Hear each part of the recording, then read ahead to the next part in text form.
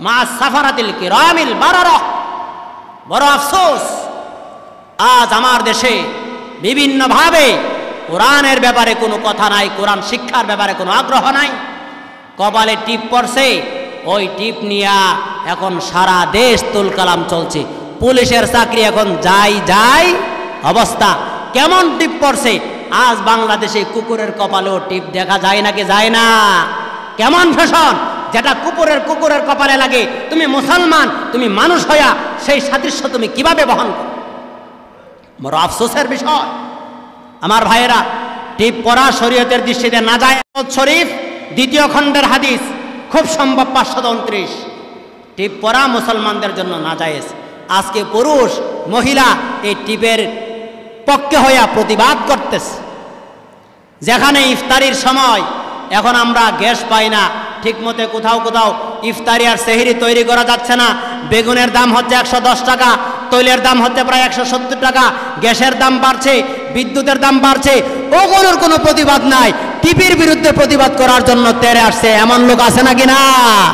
হ, মুসলমান ভাই, হকটা বুঝেন, সত্যটা বুঝেন, মারা যাবেন, জবাবদিহিতা আছে। নায়ক, নায়িকা সব লাইগা গেছে, এখন টিপের পক্ষ হয়। বাঙালি সংস্কৃতি। আল্লাহর কোরআন কি বলে সেটা বুঝে না, সেটা মানে না। আল্লাহর হাবিব সাল্লাহ আলাইহি সালাম তিনি যে মামলা দায়ের করবেন, ওই মামলার বাদী হবেন আল্লাহর রাসুল।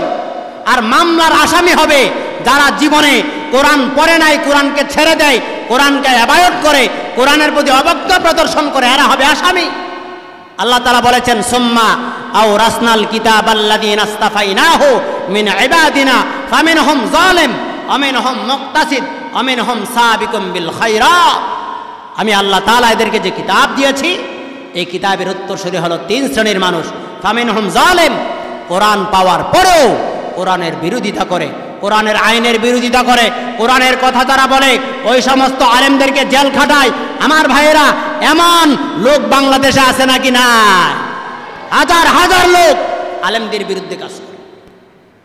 অথচ আলেমরা কোরআনের কথা বলে সত্য কথা বলে, ওই আলেমদেরকে কারারুদ্ধ করে রাখা হয়েছে। আল্লাহ তালা বলেছেন, এরপর অমিন হন মুক্তাসিদ, কেউ আছে মধ্যম পন্থা অবলম্বন করে।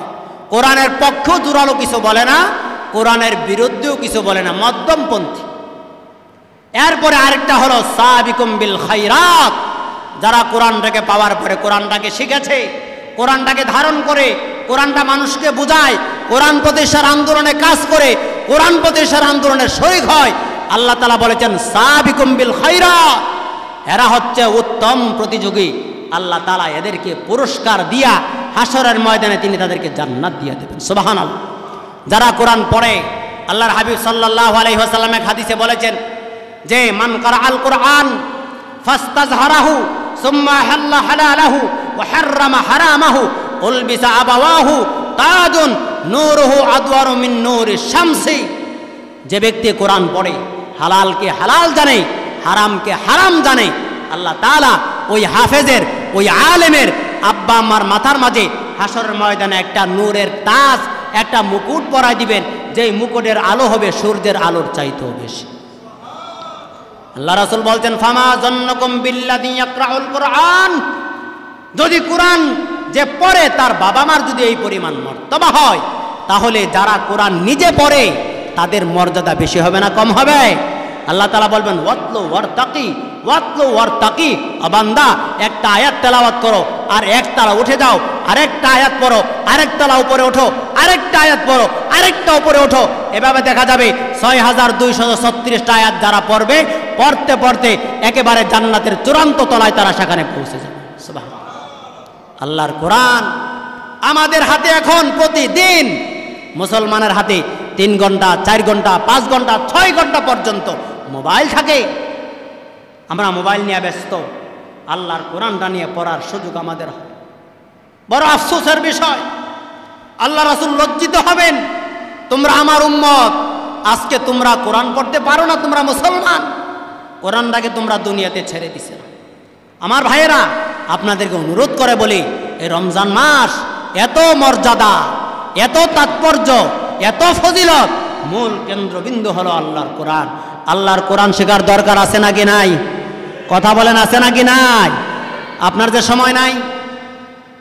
আপনার সময় নাই, আপনি এত ব্যস্ত। আপনি মোবাইল নিয়ে ব্যস্ত থাকেন, ফেসবুকে কত ঘণ্টা সময় দেন, ইউটিউবে সময় দেন, কিন্তু আপনি কোরআন শেখার জন্য কি পরিমাণ সময়? আমি আপনাদেরকে বলব, আমরা এই মসজিদে আসরের পরে সোরা মাস্কের ব্যবস্থা করেছি। আমরা ইনশাআল্লাহ সপ্তাহে মাঝে মাঝে কিছু তাফসির করব। আপনাদেরকে বলি, যে যেভাবে পারেন হাসরের ময়দানে যেন লজ্জিত না হন। আপনি যেন আল্লাহ রাসুলের মামলার বিবাদী যেন আপনি না হয়ে যান। আল্লাহ রাসুল হয়েছেন বাদী, উম্মত হবে বিবাদী, আর বিচারক হচ্ছেন হাকামুল হাকিমিন আল্লাহ তালা রায়টা কি উম্মতের পক্ষে দেবে নাকি রাসুলের পক্ষে দেবে? কার পক্ষে দেবে? রাসুল্লাহর পক্ষে রায় যাবে। প্রশাসনের কলম সবসময় প্রশাসনের পক্ষে থাকে। মনে রাখবেন। আপনারা যারা আছেন, আমি আপনাদেরকে অনুরোধ করে বলি, কোরআনের হক আমাদের কাছে পাঁচটা। এক নাম্বার হচ্ছে তেলাওয়াতুল কোরআন। কোরআন তেলাওয়াত করা। নাম্বার দুই হচ্ছে ফাহমুল কোরআন। কোরআনকে বোঝা। তিন নাম্বার হচ্ছে আমালুল কোরআন। কোরআনের প্রতি আমল করা। চার নাম্বার হচ্ছে মজদুল কোরআন। কোরআনকে সম্মান করা। পাঁচ নম্বর হচ্ছে একামতুল কোরআন। কোরআনকে প্রতিষ্ঠা করার জন্য জান, প্রাণ দিয়া কাজ করা, আল্লাহ তাআলা যেন আমাদের সকলকে কোরআনের পাঁচটা হক আদায় করার জন্য তৌফিক দেন আমরা সকলে বলি, আমিন। বাবা মারা গেছে, মা মারা গেছে, এক হাজার টাকা দিয়ে হজুর দোয়া করেন, আব্বা আম্মার জন্য কোরআন খতম দিয়া দিয়ে। ভাই, আলেমদেরকে টেন্ডার নেওয়ার জন্য আল্লাহ তালা দুনিয়াতে পাঠান। এক হাজার টাকা ইমামকে দিয়া মহাজেনকে দিয়া, আলেমকে দিয়া, দুই হাজার, তিন হাজার টাকা দিয়া বলেন, হজুর, পাঁচ হাজার টাকা দিলাম। কীভাবে আমাকে কোরআন শেখাবেন, আমাকে শেখাই দেন। সারা জীবন তেলাওয়াতের সবাব নিজেও পাবেন, আব্বা আমার জন্য ইসালে সবাব করতে পারবেন। কিন্তু কোথায়? কোরআন নিজেও শেখার নাই, কেউ কেউ মনে করে, আমার ছেলের কোরআনটা কোনো রকম তেলাওয়াত করতে পারলেই হইল আজকে মেডিকেলের পরীক্ষা গেছে, সিএমসির পরীক্ষা। হাজার হাজার শিক্ষার্থী, ছেলে ডাক্তার হবে, ছেলে ইঞ্জিনিয়ার হবে, ছেলে প্রফেসর হবে, কত কিছু হবে। হাসরের ময়দানে দেখা যাবে যে বিশেষ ক্যাডারের মর্যাদা বেশি। ডাক্তারের মর্যাদা বেশি, ইঞ্জিনিয়ারের মর্যাদা বেশি, নাকি সত্যপন্থী হক্কানি রব্বানি, আলেমদের মর্যাদা বেশি? মর্যাদা বেশি হবে কার? নবীদের, রাসুলদের, আলেমদের শহীদদের। এজন্য ছেলেকে আলেম বানান। নিজে চেষ্টা করেন, এই কোরআন শিখা অবস্থায় তেলাওয়াত করতে করতে, এই অবস্থায় যদি আপনি মারা যান আল্লাহ রাসুল বলেছেন বাইনাহু নাবি ইনা দ্বারা যন্তুন ওয়াহেদা। কোরআন শিখতে গিয়ে যে মারা যায়, মারা যাওয়ার পরে আল্লাহ তালা তাকে এমন জান্নাত দিবেন, যে জান্নাতের মাঝে আর নবীর জান্নাতের মাঝে মাত্র একটা গেটের ব্যবধান থাকবে। সুবাহান নবীর পাশের ফ্ল্যাটে আপনি থাকবেন। রমজান মাস, কোরআনটাকে বুঝেন, যারা পড়তে পারেন, আপনারা কিছু অনুবাদ পড়েন, কিছু তর্জমা আপনারা শিখেন। আল্লাহ তাআলা যেন মাহে রমজানের এই সম্মান আমরা কোরআন শেখার মধ্য দিয়ে কাজে লাগাতে পারি। আল্লাহ যেন তৌফিক দেন সকলে বলেন আমি চেষ্টা করবেন তো ইনশাআল্লাহ।